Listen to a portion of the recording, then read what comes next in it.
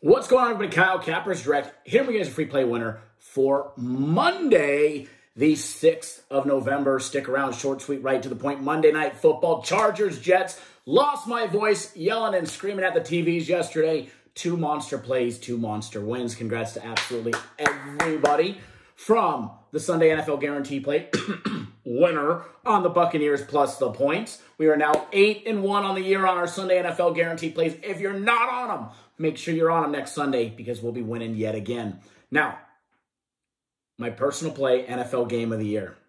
Wah, wah, wah. We won. Congrats to absolutely everybody that hammered and pounded your books yesterday on the over in the Eagles and the Cowboys game. Easy peasy lemon squeezy, as my little one likes to say, from start to finish. That one was in the books. Congrats to absolutely everybody. Uh, speaking of big games, Saturday. Saturday.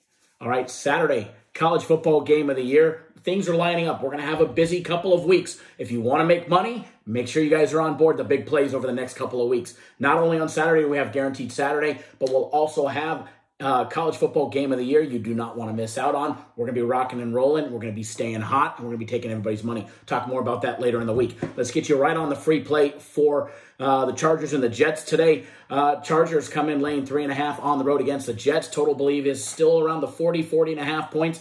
But what I'm going to be betting on this one, we're going to be betting a prop bet. All right, guys.